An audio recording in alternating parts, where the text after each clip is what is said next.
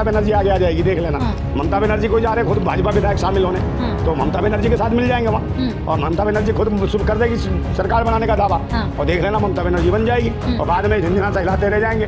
फिर रोएँगे हमसे गलती हो गया। तो ये बिना प्रधानमंत्री बने ही मर जाएँगे मुझे लगता है। ये मैं कहना ये तो पूरी टूट रही है भाजपा को टूट रही है। हाँ। और भाजपा में एक मत नहीं है। भाई आर एस एस इसके विरोध में मोदी के। हाँ। अमित शाह के। हैं, और वो चारे का वो बन जाए क्या नाम गडकरी। हैं, वो चारे प्रधानमंत्री वो बन जाए बेशक। लाल कृष्ण आडवाणी प्रधान और वो बन जाए राजनाथ सिंह।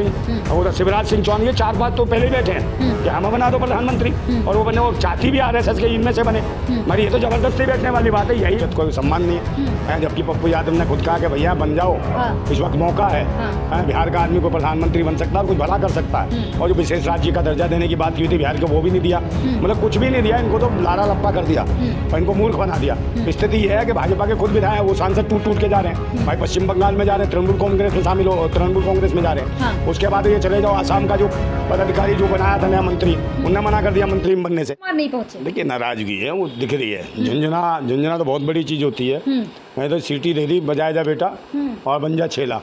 तो ये ऐसी हालत कर दी कोई तो खुद पैरों में पड़ रहा था ये व्यक्ति हम्म। इसको खुद शर्म नहीं है इसे गरिमा बिहार की गरिमा इज़्ज़त कोई सम्मान नहीं है हम्म। जबकि पप्पू यादव ने खुद कहा कि भैया बन जाओ हाँ इस वक्त मौका है हाँ। हैं, बिहार का आदमी को प्रधानमंत्री बन सकता है और कुछ भला कर सकता है हम्म। और जो विशेष राज्य का दर्जा देने की बात की थी बिहार को वो भी नहीं दिया हम्म। मतलब कुछ भी नहीं दिया इनको तो लारा लप्पा कर दिया और इनको मूर्ख बना दिया हम्म। स्थिति यह है कि भाजपा के खुद विधायक वो सांसद टूट टूट के जा रहे हम्म। हैं भाई पश्चिम बंगाल में जा रहे हैं तृणमूल कांग्रेस में शामिल हो तृणमूल कांग्रेस में जा रहे हैं हाँ। उसके बाद ये चले जाओ आसाम का जो जो पदाधिकारी जो बनाया था नया मंत्री उनने मना कर दिया मंत्री बनने से। है इनका आसाम का ही तो था किसका था? केरला का था। केरला का था वो। केंद्रीय मंत्री उसने कहा भैया मुझे नहीं बनना मंत्री। हैं, तो वो फ़िल्म में जाए किसी में जाए उनका फ़िल्म चाहिए चिलम चाहिए की तो कहानी है ही है। हाँ। तो उन्होंने कहा भाई इन पर भरोसा नहीं है।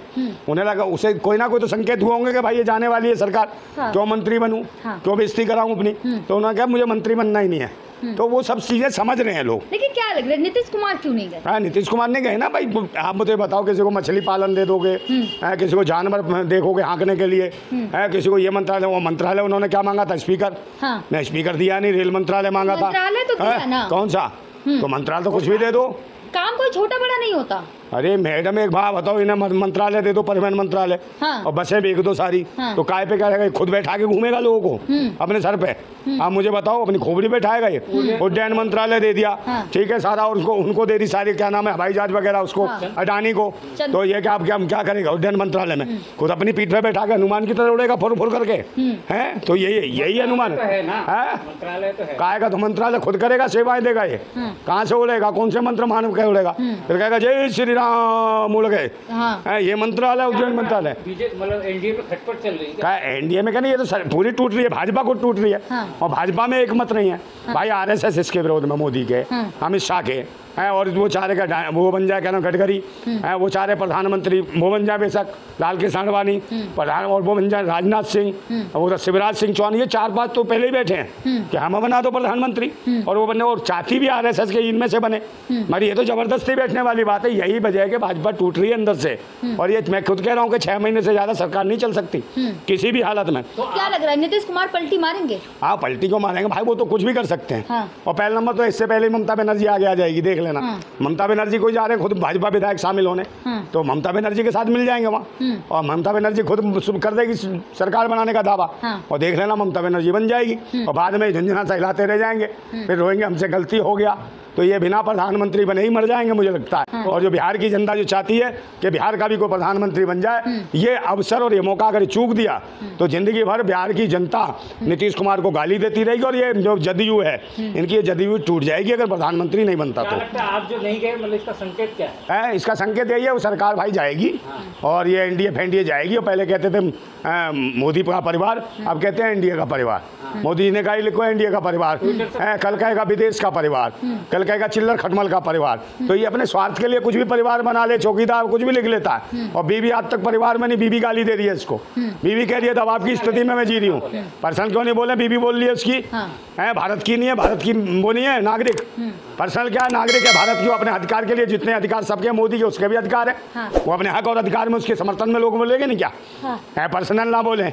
मोदी शोषण करता रहे अपनी बीवी का तो उसके लिए कोई खड़ा नहीं होगा। मोदी शोषण कर रहा है।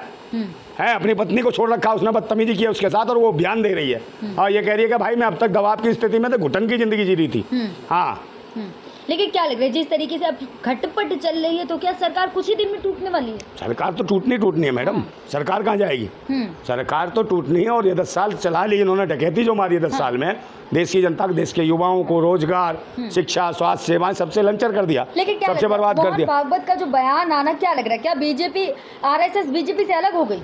बिल्कुल आरएसएस तो भाई बीजेपी बीजेपी के साथ है हाँ। पर मोदी और अमित शाह के साथ नहीं है आरएसएस हम्म। वो चाहती है कि भाई बीजेपी में जो आए हाँ। तो गडकरी बने प्रधानमंत्री वो गडकरी पे ज़ोर दे रहे हैं हम्म। और कह रहे हैं भाई गडकरी काम अच्छा कर रहा है हाँ, इन लोगों को आना चाहिए और सच्चाई है भाई लोग पसंद भी कर रहे हैं कि गडकरी आ जाए तो कहा उसमें क्या दिक्कत है हम्म। मगर ऐसा तानाशाह हाँ। तानाशाह शासक जो आएगा ये तानाशाही तो कर रहा है हम्म। मोदी बदतमीजी कर रहा है तानाशाही कर रहा है इसके दस साल में जिस मर्ज़ी को गालियाँ दे रहे हम्म। हो और इतनी हालत ऐसी कि अयोध्या वासियों तक को ये ट्रोल किया जा रहा है कि हिंदू नहीं है हम्म। नपुंसक है मंथरा की औलाद है, राक्षस की पता नहीं किस किस की औलाद बता रहे तो एक बात बताओ, कह रहे जो मान रह रहे हैं अयोध्यावासी बेकार हैं।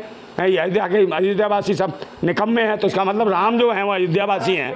अयोध्यावासी राम भी हैं तो वो भी निकम्मे हो गए। लेकिन राम भी हिंदू नहीं रहे। तो- महाराष्ट्र में भी खटपट चल रही है। कौन से? महाराष्ट्र की तो सरकार जा रही है भाई। हाँ। वहाँ से भी सांसद टूटने वाले हाँ। भाजपा को छोड़ेंगे और ये जो है सिंधे गुट के भाग रहे हैं हाँ। बहुत सारे लोग। तो ये सरकार गिरते खेल खत्म है इनका। हम्म। उद्धव ठाकरे सब चीज़ों पे एकदम कब्जा हो जाएगा उद्धव ठाकरे का और फिर सिक्का चलने लगेगा। ना भूले सारे मंत्रालय पहले जैसे ही है। कोई मंत्रालय में देखिए वहाँ है। अब कुछ नहीं है तो जो हम साई के हिसाब से कर रहा था ना बदतमीजी। है, मोदी जो डर रहा था आज भी जो ईडीसीडी का इस्तेमाल कर रहा है। कल ये सरकार गिरते ही ना इनकी औकात सबके सामने आ जाएगी और जितने मंत्रिमंडल में इसके रहे हैं मोदी के आधे ज़्यादा लोग जेल जाएँगे और मोदी उनका सरगना होगा अली बाबा के चालीस चोरी सब जेल जाने वाले हैं। हाँ। अगर सरकार बदलती है तो। हाँ। और देख लेना। और फिर अंधभक्तों की जमात देखना कहाँ गायब होगी।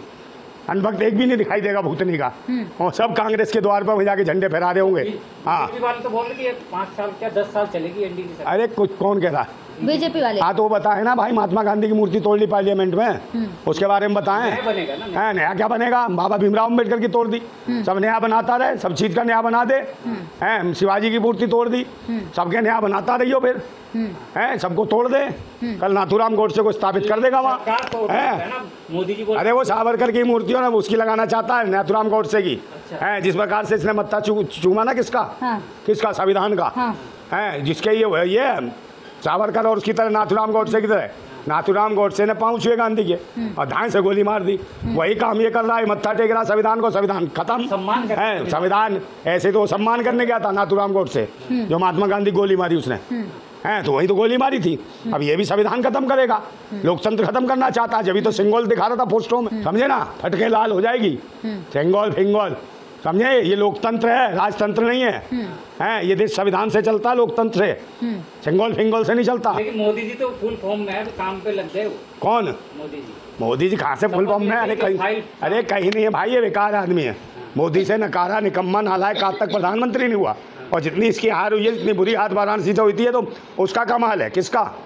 मशीनों का कमाल है जितने ही वोट ले आया। नहीं तो हार रहा था इसकी जमानत जब्त होती। हाँ। वाराणसी से हाँ।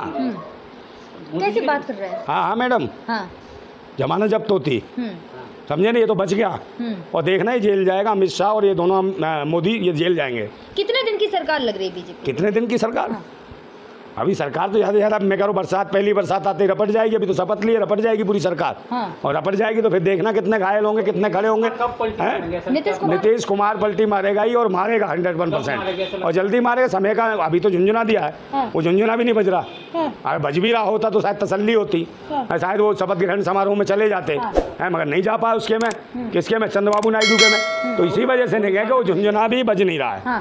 हाँ झुंझुने में कुछ है नहीं। अरे भाई बजने के लिए सामान तो चाहिए अंदर कुछ तो पड़ा होना चाहिए वो भी नहीं पड़ा। तो खैर किसी को पता भी नहीं चलेगा मंत्रालय का झुंझुना है कि नहीं। अब देखे ना